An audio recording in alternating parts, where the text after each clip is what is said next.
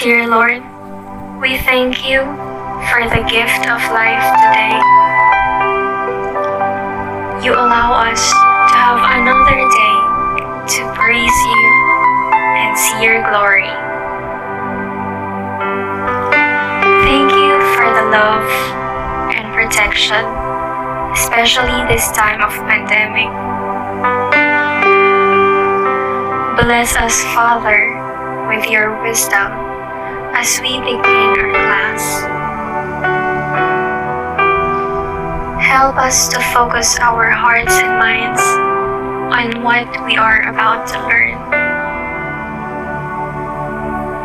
Inspire us by your Holy Spirit as we think and listen.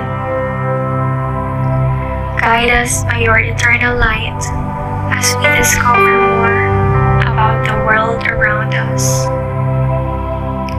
Lord, we thank you and let your will be done in our lives.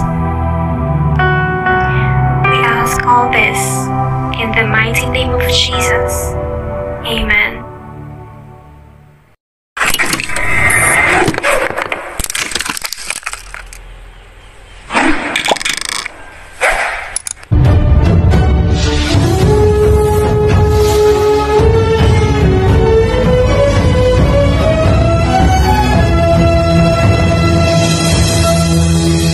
English 8 video lesson. Teacher Crystal is back. Hello there, my dear learners. So we are back again for another video lesson and this time we'll talk about bias in writing. The most essential learning competency of this video lesson class is examine biases for or against made by the author. So at the end of this video lesson class, you are expected to define what bias in writing is, identify words and phrases that show bias in a text, determine the stand or issue of the author in a text, and recognize the importance of being unbiased in a text. Well, I know you're excited, but before we begin, let's have a quick review on our previous lesson. So last time we've talked about parallelism and we have learned that parallelism is the use of the same pattern of words in order to add symmetry or balance in sentences. And we've also learned that we can use parallelism in single words such as noun, adjective, adverb, verb, gerund, and infinitive. And because of that, I believe we can now proceed with our new lesson. Okay, so let's take a look at this image here. So yeah, that's me. So what I am trying to tell here is I prefer GMA than ABS-CBN. So it means that I can be biased for GMA and biased against ABS-CBN. Also, I remember one time my sister asked me who is my bias in Blackpink, a girl group in Korea. So instead of her asking me who is my favorite among them, she asked me who is my bias. So just like us, authors also has bias in writing. So what is bias in writing?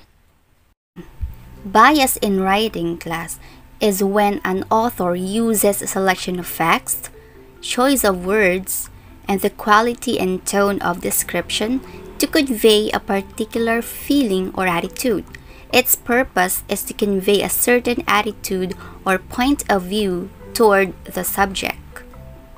So there are different ways to recognize bias in a text. First is look for loaded words. So words that are charged with emotion, whether positive or negative, can reveal an author's opinion about his or her topic. Second is watch out for stereotypes. Stereotypes is if the author labels an entire group, the writing is probably biased. Third is notice vague language. So vague means unclear, not specific. So if the author isn't using specific language, This could be an indicator of bias. Fourth is be on the lookout for one-sided arguments. If the author only presents one side of an argument, his or her writing is probably biased. The last one is Does the author present facts or opinions? Facts are what they are, the truth, but opinions can be based on feelings, emotions, or prejudices, which aren't objective. Okay, so let's have an example here. So let's read. When I met with Mayor Jovelli, I noticed that he had the appearance of a hobo. He was unshaved and wearing dirty clothes. He spoke to me about his horrible plan to fix our city's roads. Anyone who knows the plan will tell you that it will bankrupt our city. The plan to fix our roads mostly benefits friends of the mayor. He plans to pay his buddies in the construction business thousands of dollars over the next two years. I do not want to insult anyone, but the mayor is of Italian descent and we all know what reputation they have in this part of the country. Did I remind you of Al Capone and other Italian mafia members? So first is when I met with Mayor Jovelli, I noticed that he had the appearance of a hobo. So hobo means a person that has no place to live, no money, and travels different places. So it looks like this.